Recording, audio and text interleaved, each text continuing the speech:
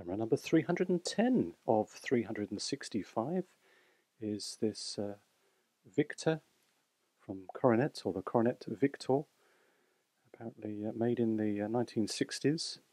Uh, uh, the material is uh, seems to be Bakelite construction, and it seems to be aimed at a little bit more advanced photographer. It has a number of controls that, rather than just a, a point and shoot, um, so let's just run through some of the, uh, the functions or the features.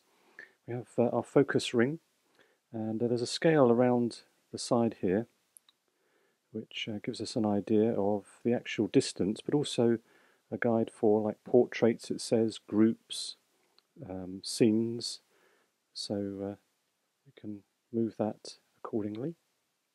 I believe the, uh, the lens is a meniscus lens so there's not going to be a huge amount uh, of control, but it does seem to, uh, to move. And then we have a flash synchronization port. We have two, yes, two shutter speeds. Uh, one one hundredth and uh, one see that one thirtieth and uh, we change it with this little slider now I'm not sure whether it works or not um, we'll see I suspect it uh, may not but you know, never know. It could uh, it could work. And uh, also apertures, two apertures, f11 and f16. So uh, thus indicating perhaps it was a little bit beyond or a little bit further down the road than uh, than just a uh, somebody who's really interested in photography. Uh, we have a flash port or flash hot shoe, a cold shoe rather, but our flash port synchronization port is there and then we have our shutter button which has a uh, on-off or uh, a locking mechanism made of uh, metal there and then our film um, advance that we wind on. Now what's interesting I find about this camera, it has a viewfinder as well built into, uh, into the camera there, is the back. It's uh, fascinating, a little bit of uh, history here I find personally where you have so much information, which again indicates that it is aimed at uh, maybe the advanced uh, individual or advanced amateur. Perhaps is maybe too uh, too much to say, but uh, just interesting that uh, depth of focus scale here. So f aperture f11 and a distance of four foot. Um, then you'll get three foot nine to five foot in focus. So that's a very useful scale there.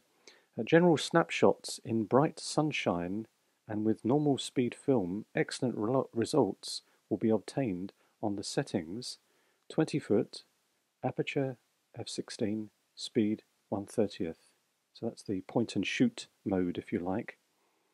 And then I do find this amusing, the uh, little scale here, guide to uh, help us with uh, our exposure.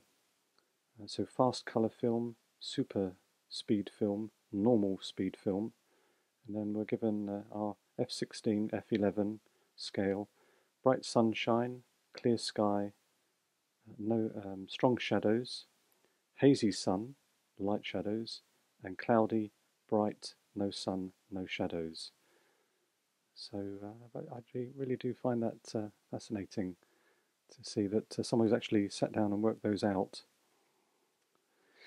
to put our film in our camera, we have to, as it says, slide catch in the uh, direction of the arrows, and then we take uh, the whole of the back off. I don't find it easy to take off, so that's good. So that indicates that perhaps uh, there won't be any light leaks. There we go. And uh, there is, is metal in evidence here, so actually I think that's probably a, a metal back plate. And uh, there we go, there's the inside. So uh, we put our film in here and then put it on the uh, spool and advance the film on that side. There we go.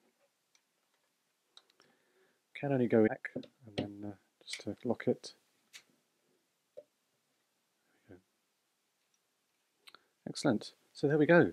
That is the uh, Coronet Victor 127 film format and that has been camera number 310 of 365.